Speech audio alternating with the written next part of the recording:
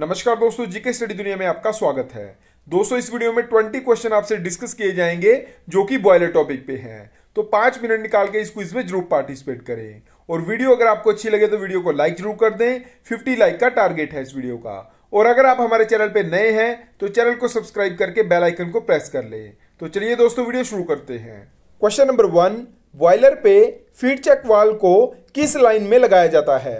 दोस्तों, काफ़ी बार ये क्वेश्चन इंटरव्यू में पूछा जाता है। और इस प्रश्न का सही उत्तर है फ़ीड चेक वाल को बॉयलर पे फ़ीड वाटर पंप की डिस्चार्ज लाइन में लगाया जाता है और ये स्टीम ड्रम के बिल्कुल पास में लगा होता है। क्वेश्चन नंबर टू बॉयलर पे किस टाइप के सेफ्टी वाल्व का प्रयोग ज़्यादातर किया जाता है? दोस्तों, इस प्रश्न का उत्तर आपने देना है कि बॉयलर पे mechanical spring loaded safety valve का प्रयोग किया जाता है और इसको बॉयलर के बिल्कुल ऊपर लगाया जाता है वर्टिकल पोजीशन में। क्वेश्चन नंबर थ्री बॉयलर की ट्यूब्स को उसके कौन से साइज़ से मापा जाता है?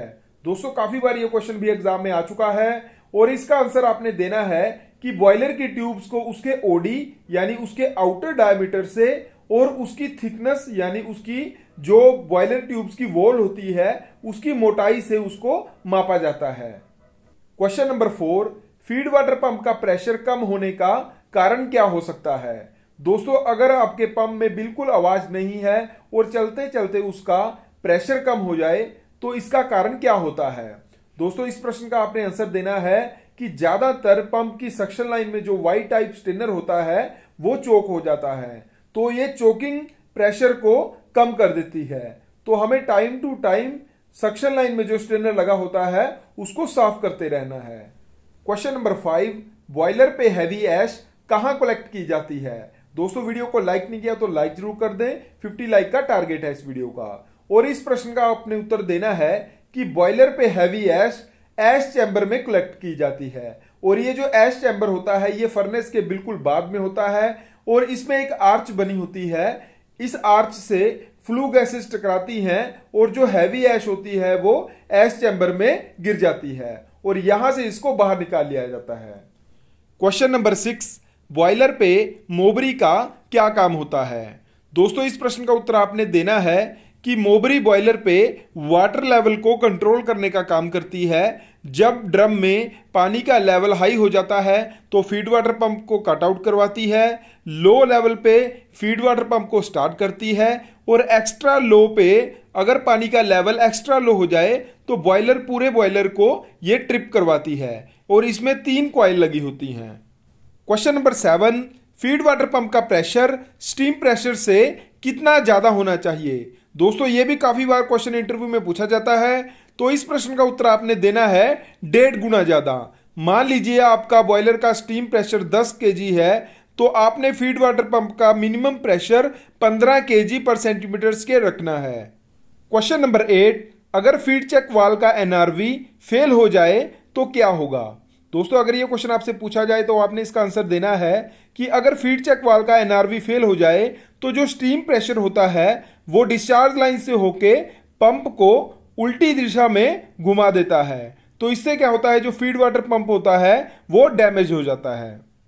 Question number nine power plant में सबसे बड़ा पंप किसे कहा जाता है? दोस्तों, ये भी क्वेश्चन काफ़ी बार एग्ज़ाम में आ चुका है और इसका आंसर आपने देना है कि पावर प्लांट में सबसे बड़ा पंप बोला जाता है बॉयलर फ़ीड वाटर पंप को, और इस पंप को बीएफपी के नाम से भी जाना जाता है। Question number ten feed water pump का प्रेशर स्टीम प्रेशर से ज़्यादा क्यों रखते हैं? दोस्तों, अगर ऐसा कोई क्वेश्चन आपसे पूछा जाए तो आपने इसका आंसर देना है कि फ़ीड वाटर पंप का प्रेशर इसलिए ज़्यादा रखते हैं ताकि वो पानी स्टीम प्रेशर के ऊपर ज़्यादा दबाव बना के ड्रम के अंदर फिल हो सके। क्वेश्चन नंबर इलेवन बॉयलर पे आईडी और एफडी फ़ैन में किस टाइप के ब्लोअर का प्रयोग किया जाता है? दोस्तों, अगर ऐसा कोई क्वेश्चन आपसे पूछा जाए तो आपने इसका आंसर देना है सेंट्रीफ्यूगल ब्लोअर बॉयलर पे आईडी और एफडी फ़ैन में सेंट्रीफ्यूगल ब्लोअर का प्रयोग किया जाता है। क्वेश्चन नंबर ट्वेल्व बॉयलर में एयर फ्लो को किस मैकेनिकल पार्ट के द्वारा कंट्रोल किया जाता है? दोस्तों, अगर ये क्वेश्चन आपसे पूछा जाए तो इसका आंसर आपने देना है मैकेनिकल डैम्पर के द्वारा।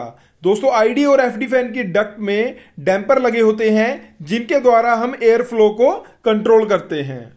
क्वेश्चन नंबर थर्टीन, बॉयलर पे इकोनोमाइजर किसकी हीट से फ़ीड वाटर को गर्म करता है? दोस्तों, ये क्वेश्चन भी इंटरव्यू में पूछा जाता है, और इस प्रश्न का उत्तर आपने देना है कि इकोनोमाइजर हॉट फ्लू गैसेस की हीट से फ़ीड वाटर को गर्म करने का काम करता है। Question number fourteen violet tubes किस मेटल की बनी होती हैं? दोस्तों, ये भी काफ़ी बार क्वेश्चन एग्ज़ाम में आ चुका है और इस प्रश्न का सही उत्तर है कि जो बॉयलेट ट्यूब्स होती हैं, वो कास्ट स्टील की बनी होती हैं।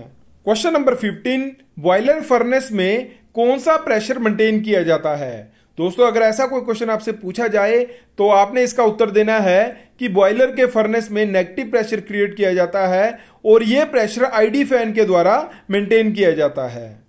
क्वेश्चन नंबर 16 बॉयलर पे सबसे बड़ा लॉस किसे माना जाता है? दोस्तों, ये भी एक काफ़ी इंपॉर्टेंट क्वेश्चन है और इस प्रश्न का उत्तर आपने देना है heat loss in flue gases दोस्तों, अगर फ्लू गैसेस की हीट का हम प्रॉपर यूटिलाइज नहीं करेंगे तो इस लॉस को बॉयलर पे सबसे बड़ा लॉस माना जाता है।